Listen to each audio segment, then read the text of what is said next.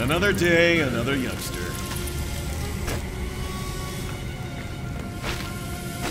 Quit! I don't know the meaning of the word. Keep it up!